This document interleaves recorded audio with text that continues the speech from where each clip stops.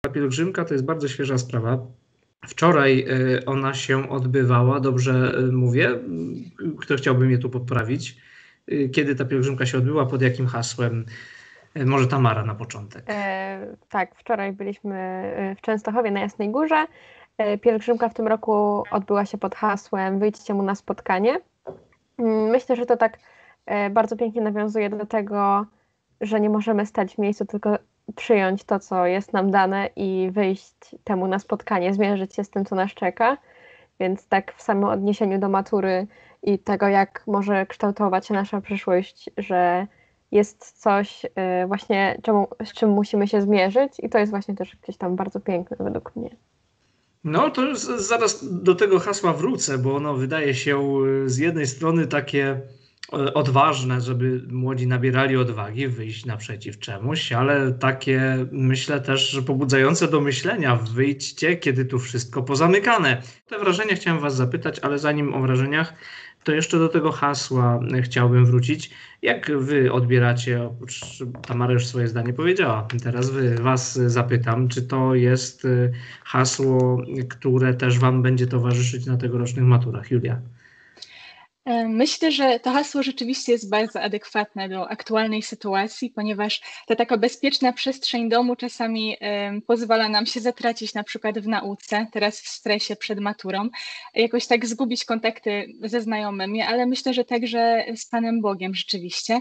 I to wyjście mu na spotkanie to jest właśnie ja tak myślę, że jest takie wyjście z, ze strefy komfortu, którą teraz często mamy właśnie w domach, w których spędzamy praktycznie cały czas i zrobienie tego jednego kroku właśnie e, w kierunku e, Pana Boga i reszta już tak naprawdę, reszta On zrobi za nas. Także myślę, że tak bym interpretowała to właśnie hasło.